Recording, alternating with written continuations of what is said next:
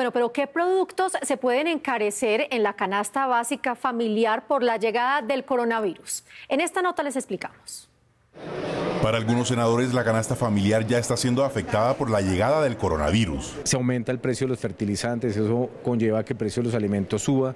Ya hay alimentos que están escaseando, eh, producto no solamente de la, del clima, las temperaturas, sino también eh, por el alto costo de los fertilizantes y también de productos importados que se requieren traer al país. Hay elementos también de, de infraestructura que no se han podido despachar desde China, producto también por por el tema del coronavirus y eso genera no solamente que los precios se incrementen, sino que también el costo de producirlo sea más costoso.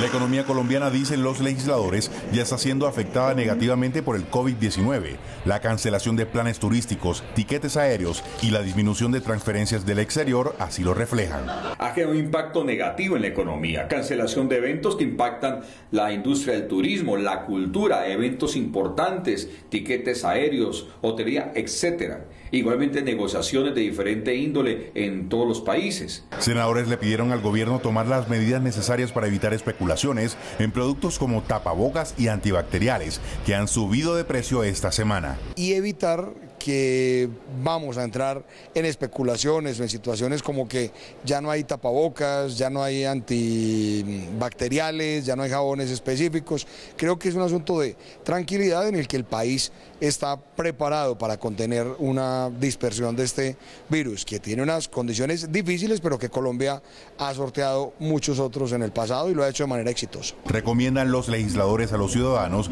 acatar las medidas anunciadas por el presidente Iván Duque para evitar el contagio y no entrar en pánico por rumores y desinformación.